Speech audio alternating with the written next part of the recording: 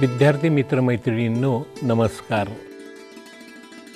Now we shall study population and sample part 2 in which we shall deal with probability sampling. Probability sampling is a process of sample selection where subjects or elements are chosen by chance. It is popularly known as random sampling. In random sampling, every item has an opportunity of being selected. It means that the equal chances of being selected are there. Probability sampling includes simple random sampling with replacement, simple random sampling without replacement, systematic sampling, stratified random sampling and cluster sampling. Simple random sampling with replacement, here what we do that we generally take a bowl in which the number of slips that is the number of slips of the population are placed and then randomly at one time one slip is taken out and in this way the sample is selected. For example, Suppose there are 1000 subjects in population. These 1000 subjects are the population out of which we have to select only 100. So, we shall prepare 1000 slips and then from them randomly we shall select one slip at a time and in this way 100 subjects will be selected. For example, suppose the first slip is 38. So, it will be written down 38 and again that 38 number will be included in the bowl. This type of sampling is called as random simple sampling with replacement. Well student we have already seen simple random sampling with replacement. Now, we shall go for the random sampling technique without replacement. In this the procedure is the same and the arrangement is also the same only in place of replacing the slip, the slip is kept outside. Say for example, out of 1000 slips we have selected one that is number 52. So, the subject number 52 is selected and then another number is selected. Suppose this time the number 127 is selected.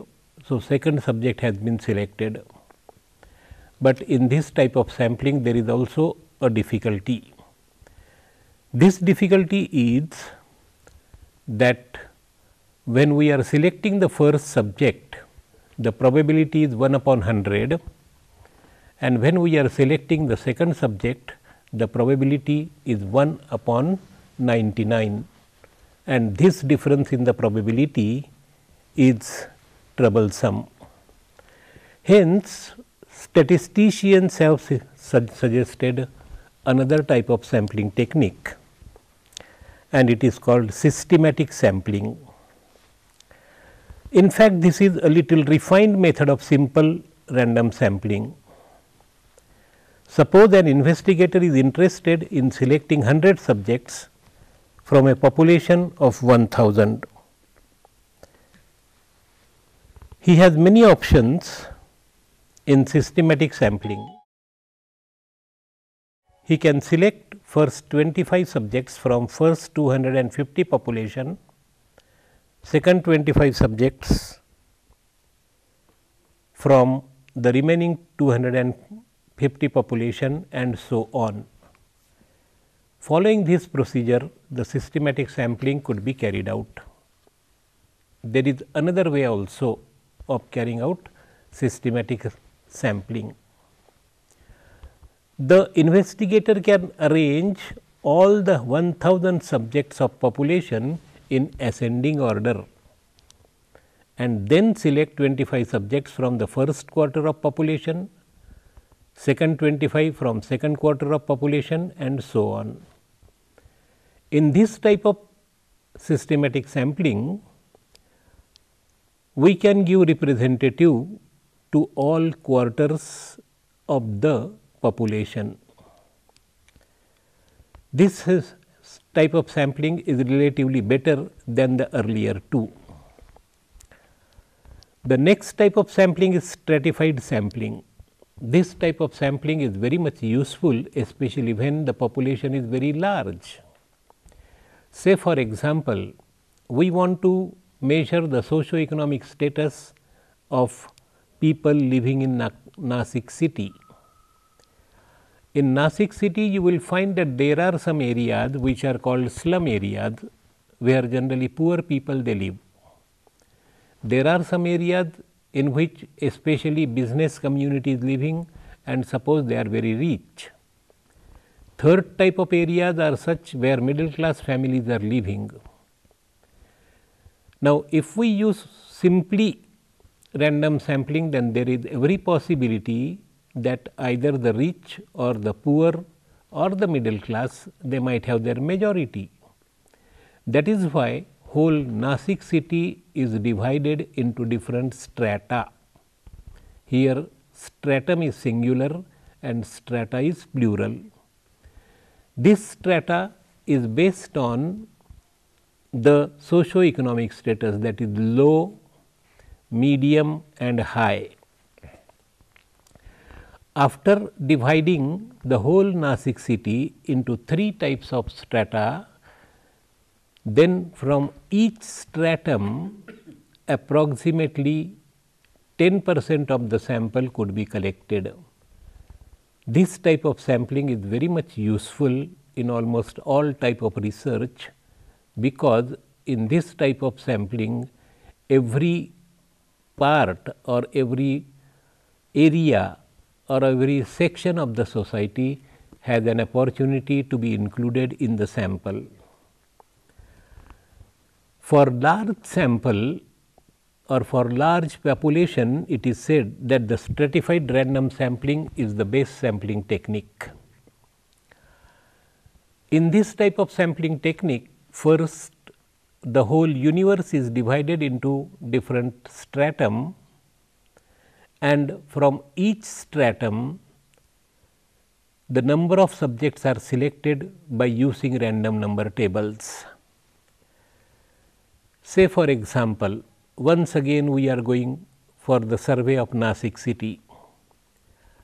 Let us imagine that there are 100 slum areas there are 60 colonies of middle class people and there are 20 colonies of rich people. So, this is the classification on the basis of their socio-economic status has been done. This is stratification of the universe. Then suppose in one locality of poor people, there are 400 subjects out of which 40 will be selected. In another there are suppose 500 subjects from which 50 will be selected and the same procedure will be used for selecting the subjects from the middle class and high class society. Then there is random sampling technique. Many people think that random sampling technique is superior to other types of sampling technique, but the reality is entirely different. In fact, every type of sampling technique is useful and it is effective according to the nature of the subject being studied. In random sampling technique, people they generally suggest that well you should use lottery method or other type of method, but the best type of random sampling technique is to use random number tables. If you refer any good book on statistics, then you will find that in appendix there are random number tables.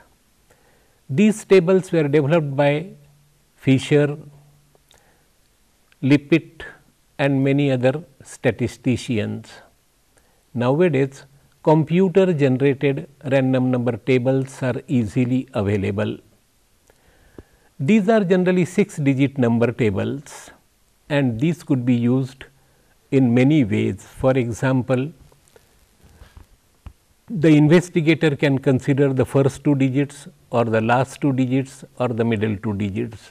So, there is every possibility of several possible variations in selecting the random sub in selecting the subjects randomly.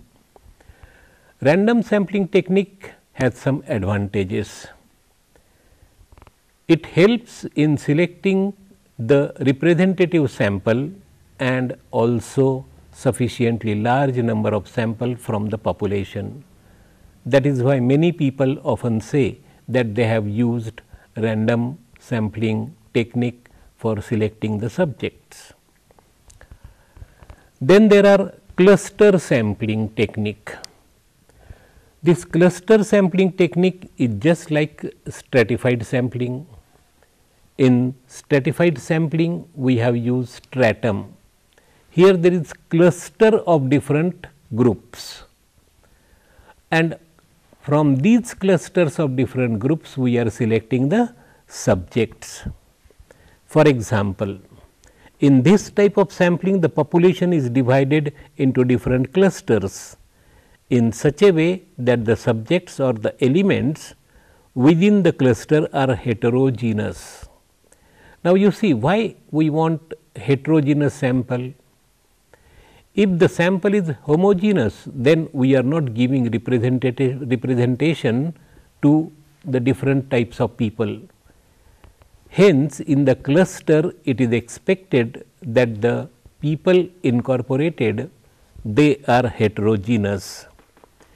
However, even though that heterogeneity is there, there is homogeneity among the clusters and sample items are selected from these clusters randomly. This type of sampling technique is useful to fulfill the purpose of different types of studies. Above all, there is one sampling technique, it is called as multi-stage sampling technique.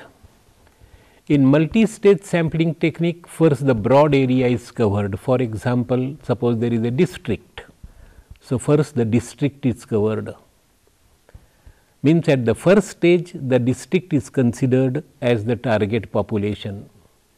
At second stage Tahsil place is considered as the target population. At third stage it is the township that is considered as the target population and at the fourth place it is the villages that is considered as the target population. So, friends we have studied about multi-stage sampling also. It is a very effective sampling technique and it is useful for selecting the representative sample. I am very much thankful to you for listening me patiently. If you have any question you can ask.